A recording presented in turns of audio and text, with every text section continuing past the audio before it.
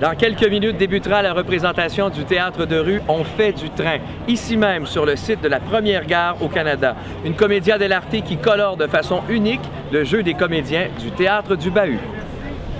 Dans cette pièce à saveur historique, les comédiens vous transportent il y a 175 ans, lorsque le premier train canadien s'est lancé sur les rails entre La Prairie et Saint-Jean-sur-Richelieu. Avez-vous hâte?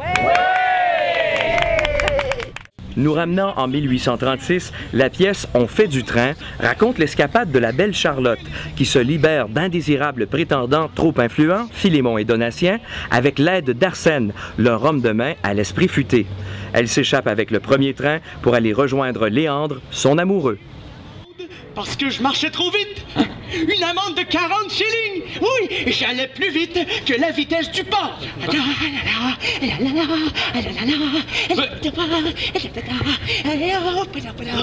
est-ce que t'as tout ramené ce que je te demandais Oh, oh, oui, oui, oui, oui, oui, oui, oui, oui, oui, oui, oui, oui.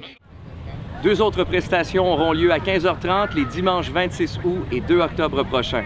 Les représentations ont lieu au Bureau d'information touristique de Saint-Jean-sur-Richelieu, situé au 31 rue Frontenac. Pour plus d'informations, consultez unétéchaud.com.